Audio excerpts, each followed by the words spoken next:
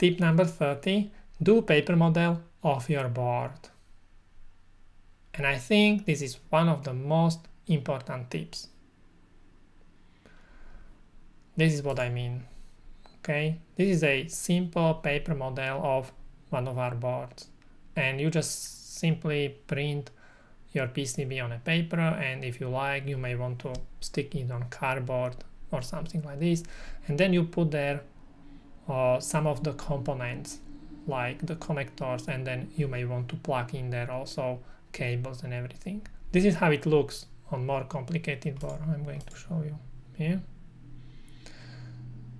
What do you think why this can be useful?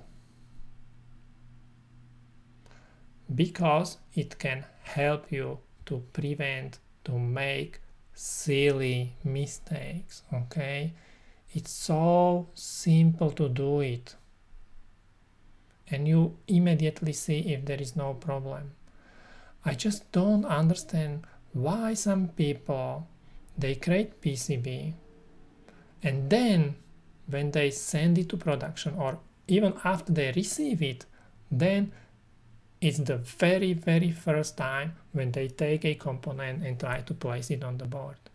I think that's one of the ways which is like bad, really bad. You really should have the components which you are going to use on your board. You really should have them before you send your PCB into production and you really, really should try to compare them uh, with uh, some footprints or with the board which you print on a paper. Every time when we create this paper model and we do it every single for every single board, every time we find something what can be improved. Even after years of experience, always we find something what can be improved. I think many people they just do it. They just don't do it because uh, I don't know. Maybe they think like I'm genius. I don't need to do it because I've done everything correctly. Yeah. Or maybe they are just I don't know lazy to do it because it's so complicated. I need to spend two hours of doing it. Yeah. Or they have some excuses like I don't have the components or I don't know what all components I'm going to use on my schematic or in my PCB and blah blah blah blah blah. Don't be lazy, okay? It's very useful. Even if you create 3D models of your board in, in the Altium or in some other softwares, you know, you you are not going to have 3D models or also all the cables or all these cards which are going to be plugged in.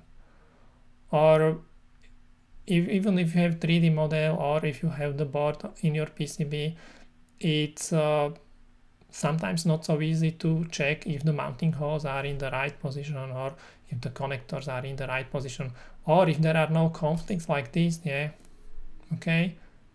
You are not going to find out this unless you really plug in the card and you really plug in this cable. Or something like this, okay? When I wanted to remove this SATA cable, I found out, oh, okay, it looks like maybe it would be better if the connector is rotated the other way around. Just do it, okay? I highly recommend it. Maybe it looks like, I don't know, silly or something, but it's very useful. Don't forget, tip Number 30. Do paper model of your board.